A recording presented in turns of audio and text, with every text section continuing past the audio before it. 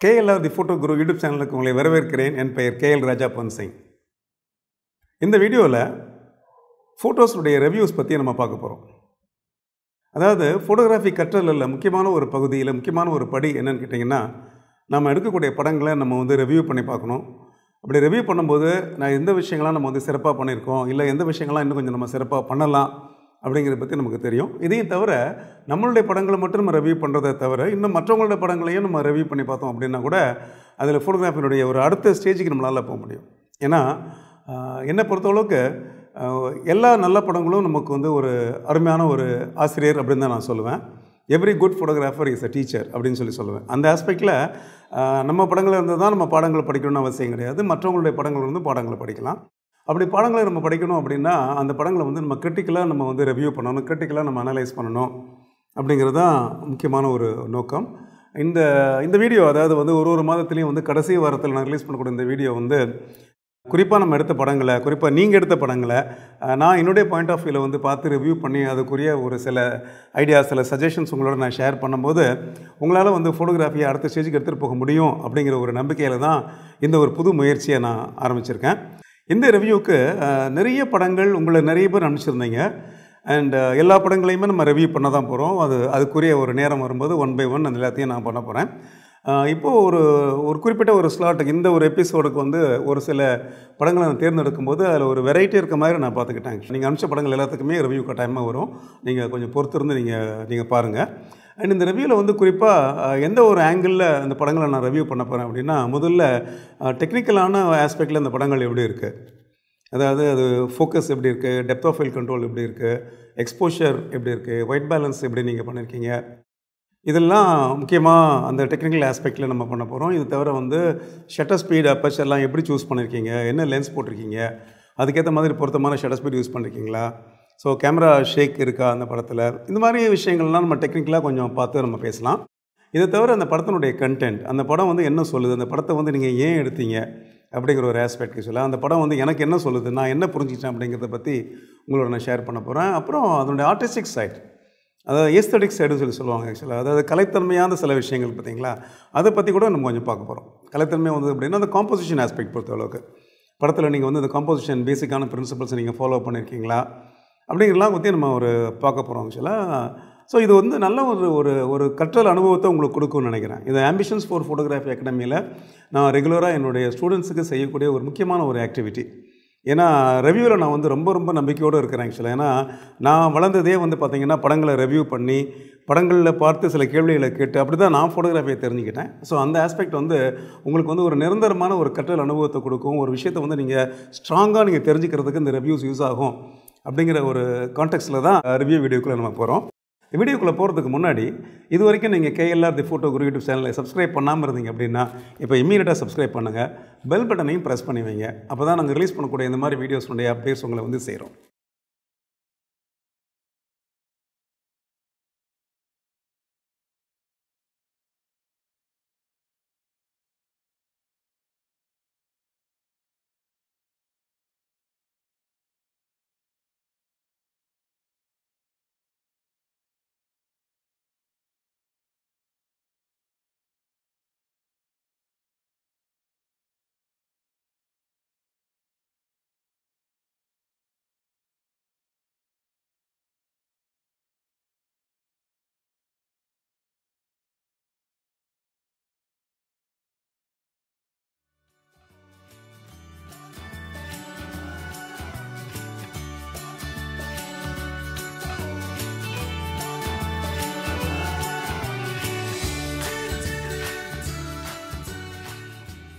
So இந்த வீடியோவில் நம்ம பார்க்கக்கூடிய முதல் ரிவ்யூ யாருடைய படம் அப்படின்னு கேட்டிங்கன்னா வேலவன் ராகுல் அப்படிங்கிற ஒரு ஆக்சுவலாக வேலவன் ராகுலுடைய படங்கள் ரெண்டு படங்கள் அமைச்சிருக்காரு. ரெண்டு படத்தையும் அவர் க்ராப் பண்ணியிருக்கிறாரு. அது டசன்ட் மேட்டர் ஆனால் ஓரளவுக்கு எனக்கு வந்து அந்த ஒரிஜினல் ரெசல்யூஷன் இங்கே தெரியுது.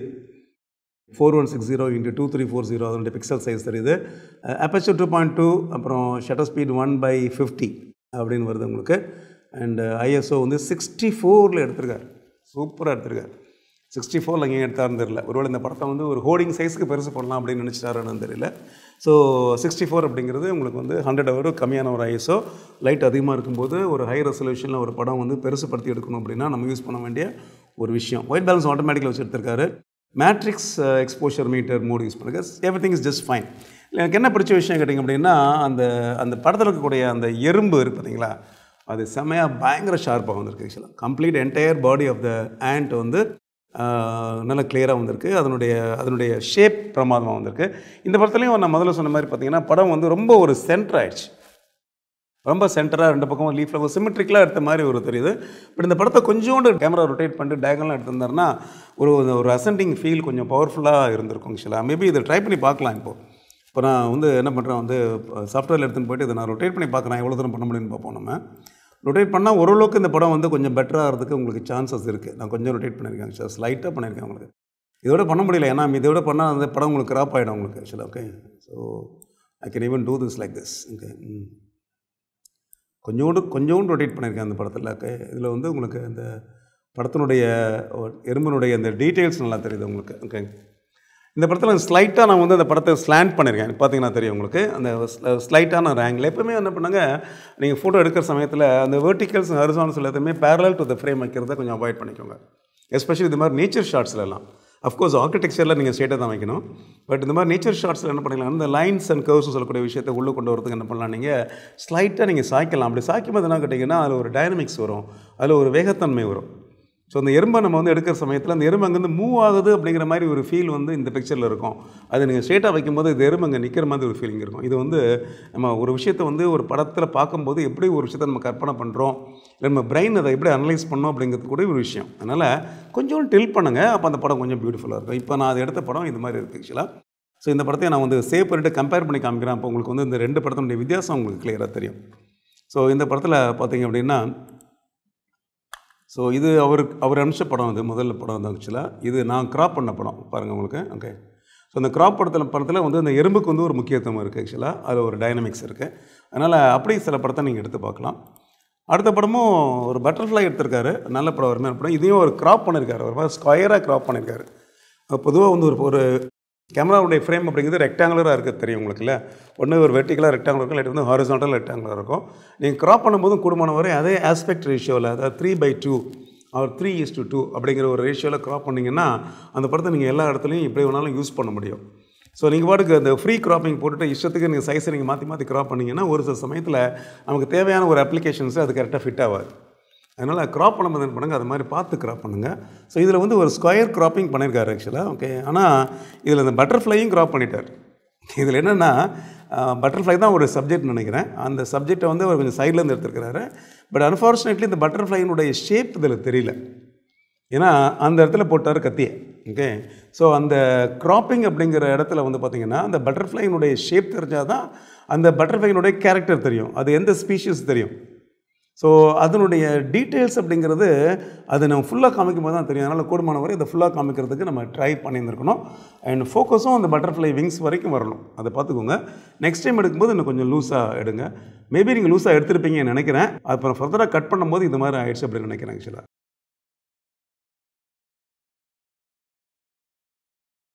அடுத்தபடியாக நம்ம வந்து அஜித் குமார் எஸ் அவருடைய படங்களுக்கு போகலாம் அவர் ரெண்டு படங்கள் அமைச்சிருக்காரு இதில். பார்த்தீங்கன்னா தெரியும் உங்களுக்கு. இதில் வந்து இது ஒரு படம் அமைச்சிருக்காரு. ஒரு அருமையான படம். ஒரு என்ன? ஒரு ஷெப்பர்ட் ஓகே ஒரு ஆடு ஆடுகள் அப்புறம் ஆடு மேய்க்கக்கூடிய ஒரு ஒரு பெண் அது அமைச்சிருக்காரு.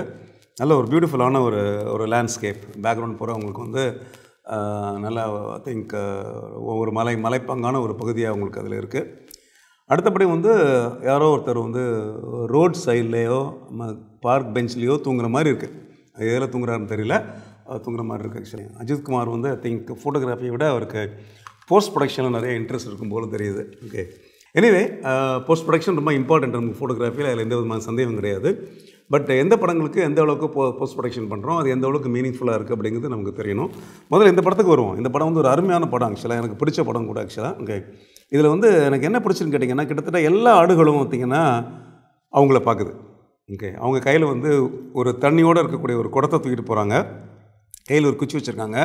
ஆடுகள்லாம் திரும்பி அவங்கள பார்க்குது. ஓகே. ஸோ ஒன்று ரெண்டு மூணு நாலு அஞ்சு ஆறு ஆடு வந்து பார்த்திங்கன்னா உங்களுக்கு வந்து அவங்கள திரும்பி பார்க்குது ஆக்சுவலாக ஓகே.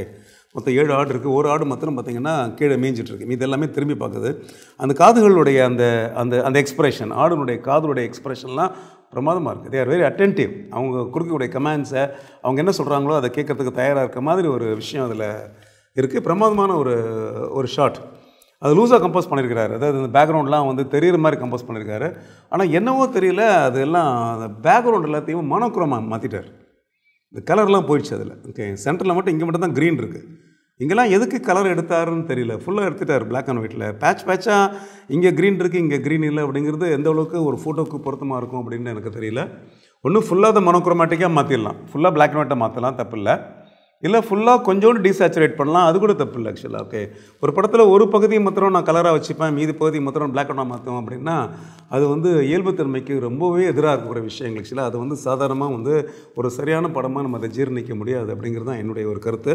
அதனால் நெக்ஸ்ட் டைம் பண்ணும்போது என்ன பண்ணுங்கள் இந்த மாதிரியான ஒரு- partial colouring partial black and white அப்படிங்கிறத கொஞ்சம் அவாய்ட் பண்ணுங்க ஆக்சுவலாக அப்போ அந்த படத்தினுடைய உண்மையான உயிர்த்தனை நமக்கு கிடைக்கும். அதர் தேன் தட் இந்த படம் வந்து ஒரு எனக்கு நல்லா பிடிச்ச படம் ரொம்ப பிரமாதமாக இருக்குது நல்லா கம்போஸ் பண்ணியிருக்காரு. Exposure everything is just perfect சூப்பரான ஒரு ஒரு படம் ஆக்சுவலாக ஃபோக்கல் லென்த் வந்து one naught five M M எடுத்திருக்காரு. Okay I S O four hundred just right one by four hundred shutter speed super F number வந்து ஃபோர்டீன் அருமையான ஒரு ஒரு uh, டெக்னிக்கல் விஷயத்தை இதில் அவர் கம்போஸ் பண்ணியிருக்காரு ஸோ வாழ்த்துக்கள் uh, அஜித்குமார் நல்லா பண்ணியிருக்கீங்க ஆனால் கொஞ்சம் போஸ்ட் ப்ரொடக்ஷனில் கொஞ்சம் ரிவர்ஸ் கியர் போட்டு பின்னாடி வாங்க. ஓகே ரொம்ப ஃபாஸ்ட் ஃபார்வர்ட் போட்டு ஃபாஸ்ட்டாக போகாதீங்க. அண்ட் போஸ்ட் ப்ரொடக்ஷனாக கரெக்டாக தெரிஞ்சுட்டு பண்ணுங்க ஆக்சுவலாக ஓகே எப்படி ஃபோட்டோகிராஃபி நம்ம தெரிஞ்சுக்கிறதுக்கு கொஞ்சம் எஃபோர்ட் எடுக்கிறோமோ முயற்சி எடுக்கிறோமோ அதே மாதிரி போஸ்ட் ப்ரொடக்ஷனையும் தெரிஞ்சுக்கிறதுக்கு ஒரு முயற்சி எடுத்துக்கோங்க. ஏன்னா அதுவும் ஒரு மிகச்சிறந்த ஒரு கலை. அது நம்ம ஏனோ தானோன்னு நம்ம பண்ண முடியாது ஆக்சுவலாக ஓகே அது வந்து எப்படி பண்ணால் அந்த படத்துக்கு வந்து சரியான ஒரு மீனிங் வரும் அப்படிங்கிறத தெரிஞ்சு படத்துக்கு ஏற்ற மாதிரி போஸ்ட் ப்ரொடக்ஷன் நம்ம பண்ணணும். அந்த கதைக்கு ஏற்ற மாதிரி. அந்த அந்த கண்டென்ட்டுக்கு ஏற்ற மாதிரி அதனுடைய தேவைக்கு ஏற்ற மாதிரி அதை பண்ணோம் அப்படின்னா அந்த படங்கள் வந்து பிரமாதமாக இருக்கிறது வாய்ப்புகள் இருக்குது அதேமாதிரி உங்கள் காப்பிரைட் கூட சென்டரில் நீங்கள் போட்டிருக்கீங்க அதை கூட நீங்கள் அவாய்ட் பண்ணலாம் ஆக்சுவலாக அது ஒரு சின்ன ஒரு உறுத்தலாக இருக்குது ஸோ இந்த காப்பி ரேட் என்ன பண்ணலாம் கேட்டிங்கன்னா ஏதோ ஒரு கார்னரில் கொஞ்சம் அப்படி சைடில் கொஞ்சம் அதாவது தெரிந்தும் தெரியாத மாதிரி போட்டிங்கன்னா அது கொஞ்சம் நல்லாயிருக்கும் ஆக்சுவலாக கரெக்டாக அந்த சென்டர் பாயிண்டில் போடும்போது அந்த படத்தினுடைய முழு மதிப்பு கொஞ்சம் குறைஞ்ச மாதிரியான ஒரு ஃபீலிங் இருக்குது அடுத்த படம் இதுலேயே பார்த்தீங்க அப்படின்னா சுத்தீரம் நிறைய ஒரு எக்ஸசிவ் விக்னெட்டிங் கொடுத்துட்டார். எக்ஸசிவ் விக்னெட்டிங் அப்படின்னா சென்டர் பொசிஷனில் மட்டும்தான் உங்களுக்கு பிரைட்னஸ் இருக்குது மீதி சுத்தீர் என்ன பண்ணிட்டார் கேட்டிங்க அப்படின்னா அப்படியே டார்க் பண்ணிட்டார் ஆக்சுவலாக அதுக்கு ஏன் டார்க் பண்ணாருன்னு தெரியல எனக்கு. மேபி ஒருவேளை வந்து இந்த பெரியவருடைய எக்ஸ்பிரஷனை தூங்கும்போது அவருடைய எக்ஸ்பிரஷனை காமிக்கிறதுக்கு பண்ணாரோ என்னவோ தெரியல.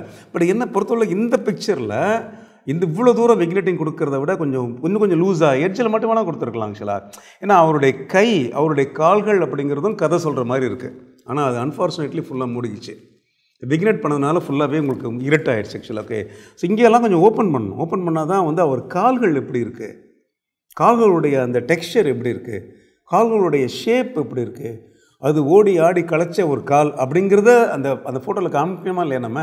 அதை நம்ம ஃபுல்லாக கருப்படிச்சிட்டோம் அப்படின்னா அந்த கதை கொஞ்சம் வீக் ஆகிடும் இல்லையா உங்களுக்கு?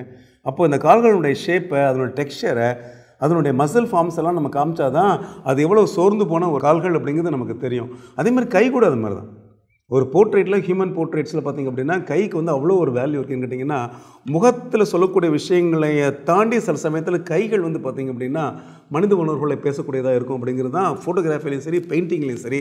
நம்ம ஆர்டிஸ்ட்டுங்க பிலீவ் பண்ணக்கூடிய முக்கியமான ஒரு பாயிண்ட் ஆக்சுவலாக அதனால் அந்த கை அவர் எப்படி வச்சுருக்காரு எந்த இடத்துல வச்சுருக்காரு அவர் விரல்கள்லாம் எப்படி இருக்குது நகங்கள்லாம் எப்படி இருக்குது அது எவ்வளோ முதிர்ச்சியோடு இருக்குது இல்லை எவ்வளோ ட்ரையாக இருக்குது அப்படிங்கிறதெல்லாம் தெரிஞ்சதுன்னா இந்த படம் இன்னும் ஒரு கிட்டத்தட்ட ஒரு டூ ஹண்ட்ரட் பர்சன்ட் பிரமாதமாக இருந்திருக்கும் ஓகே இதில் என்ன ஆச்சு கேட்டிங்க அப்படின்னா ஏதோ ஒரு டார்ச் லைட் அடித்து ஒரு மூஞ்சில் ஏதோ அங்கே மாத்திரம் ஸ்பாட் கொடுத்த மாதிரி ஒரு விஷயம் இருக்குது ஸோ அழகான உ- உணர்வுகளை அதாவது வந்து பிரமாதமான விஷயத்தை எல்லாத்தையுமே என்ன பண்ணிட்டீங்க விக்னிட்டிங் அப்படிங்கிற பேரில் மூடிட்டீங்க.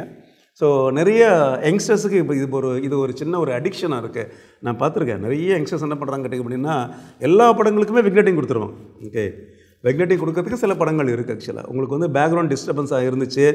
பேக்ரவுண்ட் ரொம்ப பிரைட்டாக இருந்துச்சு. அதனால உங்கள் மெயின் சப்ஜெக்ட் சரியாக தெரியல அப்படின்னா விக்னேட்டிங் கொடுத்தீங்கன்னா தட் இஸ் ஓகே பட் பேக்ரவுண்டுக்கும் ஒரு வேல்யூ இருக்குது அந்த பிக்சருடைய இன்னொரு பார்ட்டுக்கும் ஒரு வேல்யூ இருக்குது அப்படிங்கும்போது நம்ம ஃபுல்லாக விக்னேட்டிங் கொடுக்குறத தவிர்த்தோம் அப்படின்னா அந்த படங்கள் வந்து இன்னும் கொஞ்சம் பிரமாதமாக இருக்கும். இந்த இடத்துல அவர் அவருடைய காப்பிரைட் போட்டிருக்கிறது நல்லாயிருக்கு ஒரு கார்னரில் ஒரு ஜென்டலாக போட்டிருக்காரு. பியூட்டிஃபுல் அண்ட் இதுலேயும் வந்து colour and black and white mix ஆகி வந்திருக்கு இந்த படத்துலையும். ஸோ அதனால் ஒன்றும் மனோக்கிரமாக போயிடுங்க. இல்லாட்டி பிளாக் அண்ட் ஒயிட்டாக போயிடுங்க. ரெண்டாவது ஒன்று பண்ணுங்கள் அஜித்குமார் அப்போ அந்த படங்கள் வந்து வேறு ஒரு லெவலுக்கு போகும் அப்படிங்கிறதுல எந்த விதமான ஒரு சந்தேகமும் உங்களுக்கு இல்லை ஆக்சுவலாக அடுத்த நம்ம ஃப்ரெண்டு யாருன்னு கேட்டிங்கன்னா எஸ் குமரேசன். அவர் தான் அனுப்பிச்சிருக்காரு. ரெண்டு படங்கள். ஒன்று வந்து ஒரு ஒரு பூனை. ஓகே இன்னொன்று வந்து ஒரு புறா. குமரேசன் எடுத்த படத்தினுடைய முதல்ல இந்த பூனை படத்தை பார்க்கலாம். பூனை படம் ரொம்ப நல்லா இல்லை? அதனுடைய கண்கள் இருக்கக்கூடிய அந்த ஷார்ப்னஸ் ரொம்ப சூப்பராக இருக்குது ஆக்சுவலாக இன்ஃபேக்ட் அதை பெருசு பண்ணி பார்த்தீங்கன்னா தெரியும். அந்த கண்ணுடைய டெக்ஸ்சர்லாம் பாருங்கள் எவ்வளோ செமையாக வந்திருக்கு பாருங்கல்ல அந்த பியூப்பிளுடைய அந்த ஷேப்பு அப்புறம் கண்ணில் இருக்கக்கூடிய அந்த ஐரிஷனுடைய அந்த டெக்ஸ்சர்ஸ் எல்லாம் இந்த கண்ணில் மட்டும் வலது கண்ணில் மட்டும் அது ஷார்ப்பாக தெளிவாக வந்திருக்கு. ஏன்னா இங்கே தான் ஃபோக்கஸ் இருக்குது மிச்ச இடத்துலலாம் உங்களுக்கு ஃபோக்கஸ் இல்லை. இங்கேயும் ஃபோக்கஸ் இல்லை. ஓகே அதனுடைய விஸ்கர்ஸ் எல்லாம் பார்த்தீங்கன்னா அவுட் ஆஃப் ஃபோக்கஸ் ஆயிடுச்சு. கம்ப்ளீட்டாக உங்கள் நோஸ் கூட அவுட் ஆஃப் ஃபோக்கஸ் ஆயிடுச்சு. ஓகே இங்கே மேலே போனீங்கன்னா இயர்ஸ் எல்லாம் அவுட் ஆஃப் ஃபோக்கஸ் ஆயிடுச்சு ஆக்சுவலாக ஓகே ஸோ இந்த ஒரு கண்ணு ஷார்ப்பாக இருக்குது அப்புறம் அதனுடைய சேம் பிளேனில் இருக்கக்கூடிய ஒரு சில விஸ்கர்ஸ் இந்த பக்கம் ஷார்ப்பாக இருக்குது ஆக்சுவலாக ஸோ நல்ல படம். ஆனால் என்ன பொறுத்தவரைக்கும் டெப்த் ஆஃப் ஃபீல்டு கொஞ்சம் அதிகமாக இருந்திருக்கலாமோன்னு தோணுது ஆக்சுவலாக ஓகே டெப்த் ஆஃப் ஃபீல் அதிகமாக இருந்திருக்கணும் அப்படின்னா ஒரு சிக்ஸ் பாயிண்ட் த்ரீக்கு பதிலாக என்ன பண்ணிருக்கலாம்? மேபி வந்து ஒரு ஒரு லெவன் அது மாதிரி வச்சு எடுத்துருந்துருக்கலாம். அப்படி எடுத்திருந்தாருன்னா அந்த படம் வந்து அட்லீஸ்ட் அந்த அந்த பூனையினுடைய முழு தலை மட்டும் உங்களுக்கு தெளிவாக தெரியுற மாதிரி இருக்கும். அப்போது அந்த ரெண்டு விஸ்கர்ஸும் ரெண்டு சைடு விஸ்கர்ஸும் உங்களுக்கு வந்து அதாவது மீசை சொல்ல பார்த்தீங்களா அதான் விஸ்கர்ஸ் அந்த அந்த அந்த மீசைகள் வந்து ஷார்ப்பாக தெரிஞ்சுது அப்படின்னா அந்த படம் வந்து இன்னும் கொஞ்சம் அட்டன்டிவாக அந்த அந்த அந்த அனிமலுடைய ஒரு கேரக்டர் சொல்கிற மாதிரி இருக்கும். அண்ட் ரொம்ப கேண்டிடான ஒரு பிக்சர் இதில். இது வந்து இந்த கேட் வந்து கேமராவை பார்க்கல. கேமரா வந்து கே கேட் வந்து உங்களுக்கு ஆஃப் கேமராவை பார்க்குது. வேற எங்கேயோ பார்க்குது. ஸோ கேண்டிடான ஒரு ஷாட்டு பேக்ரவுண்டில் கூட அவுட் ஆஃப் ஃபோக்கஸ் ஆன சில விஷயங்கள் கூட இன்ட்ரெஸ்டிங்காக இருக்குது அது மாதிரி ப்ளூ கலரில் இருக்குது ஆக்சுவலாக அது அவுட் ஆஃப் ஃபோக்கஸ் ஆன விஷயங்கள் வந்து புக்கேன்னு சொல்லுவோம் பார்த்தீங்களா? அந்த மாதிரி வந்திருக்கு. அஃப்கோர்ஸ் இதெல்லாம் விட முக்கியமான விஷயம் இதுதான். நமக்கு புக்கே விட முக்கியமான விஷயம்னு கேட்டிங்கன்னா அந்த அனிமலுடைய ஒரு எக்ஸ்பிரஷன் அதனுடைய ஒரு டீட்டெயில் அதனுடைய ஒரு ஒரு ஒரு டிசைன் பாடியுடைய ஒரு டிசைன் அதில் உடைய ஹேருடைய ஒரு டெக்ஸ்சர் அந்த விஸ்கர்ஸ்னுடைய ஷேப் அண்ட் ஃபார்ம் இதெல்லாமே ஒரு படத்தில் வந்து உங்களுக்கு தெளிவாக தெரியணும் அப்படிங்கும்போது இன்னும் கொஞ்சம் என்ன பண்ணுங்கள் அப்பச்சர் கட் பண்ணுங்கள் கட் பண்ணி ஒரு படத்தை எடுத்து பாருங்களேன். அப்போ அந்த படம் இன்னும் கொஞ்சம் நல்லா இருக்குமே. அடுத்த படம் ஒரு பிஜியன் பிக்சர் இருக்குது ஒரு ஒரு ஒரு normal picture very normal picture ஆக்சுவலாக ஓகே நான் சொன்ன மாதிரி பார்த்தீங்கன்னா முன்னாடி நம்ம பேசலாம் பார்த்தீங்களா ஒரு அணில் வந்து இப்படி ஜம்ப் பண்ணி போகிற மாதிரி ஒரு படம். அந்த மாதிரியான ஒரு ஷாட் இல்லாமல் இது ஒரு ஸ்டாட்டிக்கான ஒரு பிக்சர் ஒரு பேர்ட் வந்து ஒரு ஒரு கம்பியில் ஸோ பால்கனியில் ஒரு கம்பி மேலே உட்காந்துருக்கு நம்ம ஜன்னல் வழியாக இருந்து ஒரு ஃபோட்டோ எடுக்கிறோம் அப்படிங்கிறது ஒரு கிரேட் எஃபர்ட்லாம் அதில் கிடையாது. ஒரு கிரேட்டான ஒரு ஃபோட்டோ நான் டெஃபரெண்ட்டாக அதை சொல்ல மாட்டேன் ஆக்சுவலாக ஸோ நீங்கள் என்ன பண்ணணும் குமரேசன் ஆக்சுவலாக இந்த மாதிரி படங்கள் எடுக்கிறத நீங்கள் தவிர்க்கணும். இந்த மாதிரி படங்கள் வந்து ரொம்ப ஒரு பேசிக்கான ஒரு நாலேஜ் உள்ளவங்க ரொம்ப வந்து ஒரு எஃபர்ட் எடுக்கக்கூடாத ஒரு ஃபோட்டோகிராஃபர்ஸ் பண்ணக்கூடிய ஒரு சாதாரண படங்கள். ஐ திங்க் கேஎல்ஆர் த ஃபோட்டோகிராஃபுடைய ஃபாலோவராக நீங்கள் இந்த மாதிரி படங்கள் எடுக்கிறத அவாய்ட் பண்ணிக்கோங்க. அட்லீஸ்ட் இந்த பேர்ட் பறக்கும்போது எடுத்து பாருங்கள் ஓகே இந்த பிஜியன் இன் ஃப்ளைட் அது கூட ஒரு நல்ல படமாக இருந்திருக்கும் ஆக்சுவலாக ஓகே அப்புறம் ஃப்ரேமை நம்ம வந்து அன்னெசரியாக டில்ட் பண்ண வேண்டாம். இதில் நீங்கள் நிறைய டில்ட் பண்ணுறீங்க ஃபார்ட்டி ஃபைவ் டிகிரி டில்ட் பண்ணிருக்கீங்க. அது ஏன் டில் பண்ணீங்கன்னு எனக்கு தெரியல ஆக்சுவலாக டில் பண்ண வேண்டிய நெசசிட்டியே கிடையாதுங்க ஏன் டில் பண்ணிருக்கீங்க? டில் டில்ட்டிங் ஏன் தெரியுது அப்படின்னா பின்னாடி ஒரு பில்டிங் இருக்குது அந்த பில்டிங் வந்து சாஞ்சிருக்கு உங்களுக்கு. சப்போஸ் இந்த பின்னாடி பில்டிங் இல்லை அப்படின்னா மேபி இந்த டில்ட்டிங் அவ்வளோ தூரம் தெரியாமல் இருந்திருக்கும் ஆக்சுவலாக ஸோ அந்த டில்ட்டிங் வந்து உங்களுக்கு தேவைப்பட்டுச்சுன்னா நீங்கள் இதை காமிச்சிக்கலாம். எப்போ டில்ட் பண்ணு கேட்டிங்கன்னா இந்த பறவை பறக்கும்போது எடுத்திருந்தீங்கன்னா டில்ட்டிங் இஸ் ஓகே ஏன்னா அந்த இடத்துல ஒரு ஆக்ஷன் இருக்குது ஆக்ஷன் இருக்கும்போது கேமரா நம்ம ஸ்டடியாக பிடிக்க முடியாது ஸ்டடியாக பிடிச்சி எடுக்க முடியாது. அந்த இடத்துல வந்து ஸ்டாட்டிக்கான ஃப்ரேம் வெர்டிக்கல்ஸ் ஹரிசான்டல்லாம் நம்ம கரெக்டாக வைக்கணும் அப்படிங்கிறதுலாம் நாட் பாசிபிள் ஆக்சுவலாக இன்ஃபேக்ட் வந்து அப்படி பறக்கிற சமயத்தில் எடுக்கும்போது ஃப்ரேம் கொஞ்சம் சாஞ்சிருந்தால் அழகாக இருக்கும். ஓகே அப்போ அந்த டைனமிக்ஸ் வரும்னு சொல்லி நான் வந்து ஏற்கனவே சொல்லியிருக்கேன்.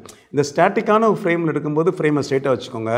ஆக்ஷன் உள்ள ஃப்ரேம் எடுக்கும்போது கொஞ்சோண்டு சாச்சிக்கோங்க ஆக்சுவலாக ஸோ நெக்ஸ்ட் டைம் என்ன பண்ணுங்கள் அட்லீஸ்ட் இந்த புறா பறக்கும்போது எடுத்து பாருங்கள் இல்லை புறாக்கள் பறக்கும்போது எடுத்து பாருங்கள் ஆக்சுவலாக ஏன்னா ஒரு பறவையினுடைய அழகே என்ன கேட்டிங்க அப்படின்னா அதனுடைய அதனுடைய இறகை விரித்து ரெக்கையை விரித்து பறக்கும்போது அது எப்படி இருக்குது அது ஷேப் எப்படி இருக்குது அதனுடைய பாடி லாங்குவேஜ் எப்படி இருக்குது ஆக்சுவலாக அதனுடைய எக்ஸ்ப்ரெஷன் எப்படி இருக்குது ஸோ அதை வந்து கேப்சர் பண்ணுறது தான் நம்மள்ட்ட கேமரா இருக்குது இதை நம்ம கண்ணிலே பார்த்துருப்பலாம் ஓகே கண்ணில் பார்க்க முடியாத ஒரு விஷயத்தை நம்ம வந்து ஃபோட்டோ எடுக்கணும் அப்படின்னு அப்படின்னா அதுக்கு ஒரு கேமரா தேவை. கேமராவுடைய ஸ்பெஷாலிட்டியே என்ன அப்படின்னா கண்கள் தவற விட்ட சில காட்சிகளை காட்சிப்படுத்துதல் தான் கேமராவுடைய ஒரு வேலை. அதை நம்ம சரியாக பயன்படுத்தணும் அப்படின்னா இன்னும் கொஞ்சம் டைனமிக்கான பிக்சர்ஸ்குள்ளே நம்ம போனால் நம்ம பெட்டராக இருக்கும் அப்படிங்கிறது தான் என்னுடைய ஒரு கருத்து. அடுத்து பிரவீன்குமார் பிக்சர் இங்கேயும் சேம் ப்ராப்ளம் தான். ரொம்ப க்ராப் பண்ணிட்டார் படத்தை. மேபி ரொம்ப தூரத்துலேருந்து எடுத்துப்பார் போல். ஓகே அண்டு நல்ல அருமையான ஒரு ஏர்லி மார்னிங்கோ லேட் ஈவினிங்கான ஒரு சீன் பியூட்டிஃபுல்லாக இருக்குது பேக்லைட் பிரமாதமாக இருக்குது அந்த சீனில் பட் அன்ஃபார்ச்சுனேட்லி என்னென்னா என்னால் அந்த படத்தை பெருசு பண்ணி பார்த்து அதனுடைய டெக்னிக்கல் ஆஸ்பெக்டை என்னால் ரிவ்யூ பண்ண முடியல. ஏன்னா படத்தை ரொம்ப க்ராப் பண்ணியிருக்காரு ரொம்ப க்ராப் பண்ணிட்டார். இங்கே பாருங்கள் இந்த இடத்துல வந்து கம்ப்ளீட்டாக அந்த டேட்டாஸே இல்லை.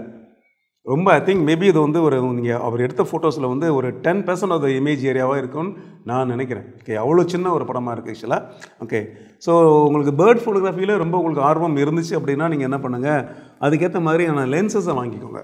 ஓகே ஸோ ஒரு நார்மல் லென்ஸை வச்சு ஒரு ஃபிஃப்டி மில்லிமீட்டர் லென்ஸை வச்சியோ இல்லாட்டி வந்து ஒரு கிட் லென்ஸை வச்சியோ பேர்ட் ஃபோட்டோகிராஃபி நீங்கள் செய்கிறதுக்கு ட்ரை பண்ணிங்க அப்படின்னா பேர்ட்ஸ் உங்களுக்கு கிடைக்கும். ஆனால் நீங்கள் க்ராப் பண்ணி பார்ப்பீங்க அது மேபி உங்களுடைய ஃபோன்லையோ இல்லாட்டி வந்து ஒரு ஃபேஸ்புக் பேஜ்லேயோ அது ஓகேவாக இருக்கலாம். ஆனால் அதை கொஞ்சம் பெருசு பண்ணிங்கன்னா தான் தெரியும் அது எந்த அளவுக்கு ஷார்ப்பாக இருக்குது அந்த பேர்டு வந்து உங்களுக்கு ஷார்ப்பாக இருக்கா? இல்லை கேமரா ஷேக் ஏதாவது இருக்கா?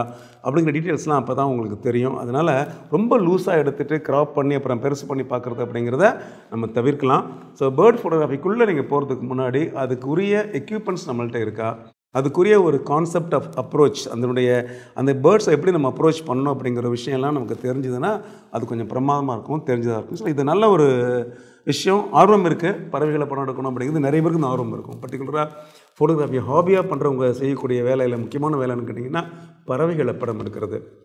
அதே மாதிரி வந்து வண்ணத்து பூச்சிகளை படம் எடுக்கிறது இல்லை பட்டாம்பூச்சிகளை படம் எடுக்கிறது. இந்த மாதிரி விஷயங்கள்லாம் நம்ம ஒரு ஹாபிஸ்ட்டாக இருக்கும்போது செய்யக்கூடிய ஒரு ஒரு விஷயம் ஆக்சுவலாக ஸோ அந்த ஆஸ்பெக்டில் வந்து பறவைகள் ஒரு அழகான விஷய விஷயங்கள். அது எடுக்கும்போது அதை நம்ம ட்ரை பண்ணலாம். எனவே லைக் திஸ் இந்த பேக்லைட் எனக்கு ரொம்ப பிடிச்சிருக்கு ஆக்சுவலாக அந்த எக்ஸ்போஷர் ரொம்ப பிடிச்சிருக்கு. எக்ஸ்போஷர்லாம் கரெக்டாக வச்சுருக்காரு. பேக்லைட் பிரமாதமாக இருக்குது அண்ட் அஃப்கோர்ஸ் பேர்ட் கூட நல்லா செப்பரேட் ஆகி வந்திருக்கு ஆக்சுவலாக ஆனால் அது வந்து ஒரு சாலிடான வந்து ஒரு என்ன சொல்ல கேட்டிங்க அப்படின்னா ஒரு கிரானைட் பிளாக்ல இருக்கிறதுனால அந்த பறவையினுடைய fifty percent of the body நமக்கு தெரியல. ஓகே ஸோ அதுவும் தெரிஞ்சதுன்னா மேபி அந்த பறவை வந்து இந்த எட்ஜில் உட்காந்துருந்து அதனுடைய ப்ரொஃபைல் தெரிஞ்சதுன்னா கூட கொஞ்சம் நல்லா இருந்திருக்கும் ஆக்சுவலாக பட் எனிவே இதோட டெக்னிக்கல் கேன்ஸே குவாலிட்டி பற்றி என்னால் வந்து கமெண்ட் பண்ண முடியல. ஏன்னா அந்த படத்தை என்னால் பெருசு பண்ண முடியல. இங்கே பாருங்கள் இந்த படத்தை என்னால் பெருசு பண்ண முடியல. ஓகே அதனால் இதை தாண்டி என்னால் இந்த படத்துக்கு ஒரு ஒரு விமர்சனம் சொல்கிறதுக்கு என்னால் முடியல.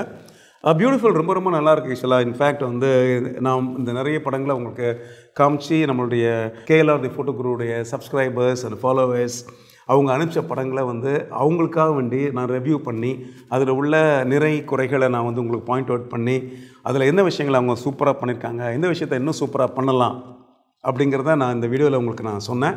இன்னும் வரக்கூடிய வீடியோக்களில் ஒரு ஒரு மாதத்துலேயும் கடைசி வாரத்தில் இதே மாதிரி ரிவ்யூ வீடியோஸ் உங்களை வந்து சேரும்.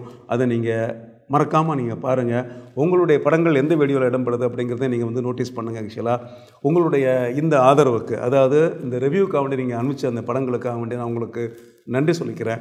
திரும்பவும் சொல்கிறேன் நம்மளுடைய ஃபோட்டோகிராஃபிக்குடைய ஸ்கில்ஸ் நம்மளுடைய நாலேஜ் நம்மளுடைய மொத்தமான ஃபோட்டோகிராஃபி சம்மந்தப்பட்ட ஒரு அறிவு அடுத்த ஸ்டேஜுக்கு நம்ம போகணும் அப்படின்னா நம்மளுடைய படங்களை நம்ம ரிவ்யூ பண்ணி பார்க்கணும். இது மாதிரி மற்றவங்க படங்களையும் ரிவ்யூ பண்ணும்போது நம்ம அதை கேட்கணும். ஏன்னா மற்றவங்க படத்துல தான் நம்ம நிறைய பாடங்களை கற்றுக்கிறோம் அப்படிங்கிறது தான் உண்மை ஆக்சுவலாக ஸோ அந்த உண்மைக்காக தான் இந்த இந்த பர்டிகுலர் அரேஞ்ச்மெண்ட்டை நான் வந்து கேஎல்ஆர் தி ஃபோட்டோ குரூவில் நான் பண்ணியிருக்கேன்.